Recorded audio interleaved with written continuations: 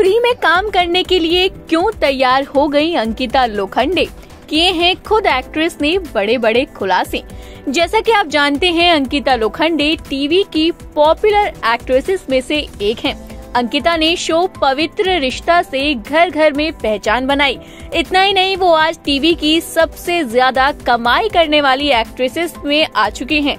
लेकिन अंकिता का कहना है कि वो कभी भी पैसों के पीछे नहीं भागती हैं। उन्होंने ये भी कहा कि आज भी अगर कोई फ़िल्म या शो की कहानी अच्छी लगी तो वो उसे फ्री में भी करने के लिए तैयार हैं। जी हाँ आपको बता दें, अंकिता लोखंडे ने हाल ही में एक इंटरव्यू दिया है, जिसमें एक्ट्रेस ने कहा, मेरे लिए पैसा बाद में आता है। सबसे ज़्यादा ज़रूरी है वो किरदार जो मैं निभा रही हूँ। अब भी मैं पैसों के पीछे नहीं भागती हूँ। मेरा फोकस सिर्फ़ प्रोजेक्ट पर होता है। मैं फ़िल्में या शोज़ फ्री में भी करने के लिए तैयार हूँ। हालाँकि अंकिता ने इस दौरान ये भी कहा कि महिलाओं को ज़्यादा पैसे मांगने में शर्म भी नहीं आनी चाहिए। वो बोली, मुझे लगता है कि आपको जो चाहिए, आपको वो मांग लेना चाहिए और फीमेल्स को जो चीज़ें डिजर्विंग लगती हैं, उसके लिए उन्हें ज़रूर बोलना चाहिए। आपको बता दें, अंकिता ने आगे बताया कि कैसे टीवी इंडस्ट्री में चीज़ें बदल गई हैं।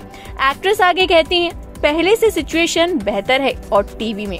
मेरी फेस अब काफ़ी इम्प्रूव हो गई है, क्योंकि मैं टीवी में काम कर रही हूँ और टीवी में हमेशा महिलाओं पर बेस्ड स्टोरीज दिखाई जाती हैं। वुमेन पावर के बारे में बताया जाता है।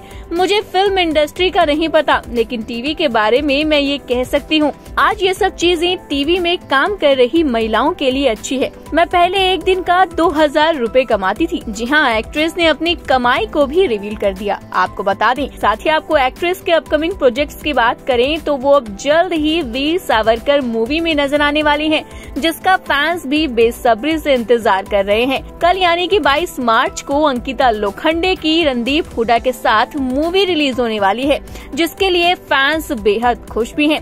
इस फ़िल्म का किरदार उन्हें कैसे मिला, इस पर अंकिता ने कहा, फ़िल्म को मेरा अच्छा दोस्त संदीप सिंह प्रोड्यूस कर रहा है। वो ऐसे किरदार को मुझसे करना चाहता था, जब वो मेरे पास ऑफ़र लेके आया तो मैंने कहा हाँ क्यों नहीं?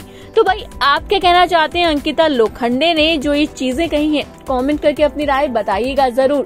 और इसी तरह की टीवी बॉलीवुड से जुड़ी हुई तमाम अपडेट के लिए जल्दी से हमारे चैनल को सब्सक्राइब करें। और अगर आप इस वीडियो को हमारे फेसबुक पेज पर देख रहे हैं तो इसे भी जल्दी से फॉलो कर लें।